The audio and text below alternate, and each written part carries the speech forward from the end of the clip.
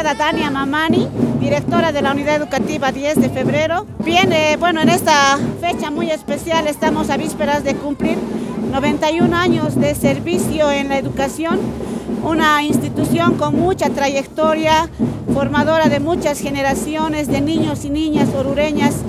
Y bueno, pues ahora estamos eh, con el nivel inicial y el nivel primario, ¿no? Eh, la unidad educativa tiene el nivel inicial y el nivel primario, 460 estudiantes tenemos a la fecha. Bueno, estuvimos ya con la semana aniversario, hemos tenido lo que es em, la carrera pedestre, hemos tenido la inauguración del año deportivo, hoy también hemos tenido la misa de acción de gracia, esta noche estamos con el desfile de TEAS y el día de mañana celebraremos nuestro acto central de aniversario.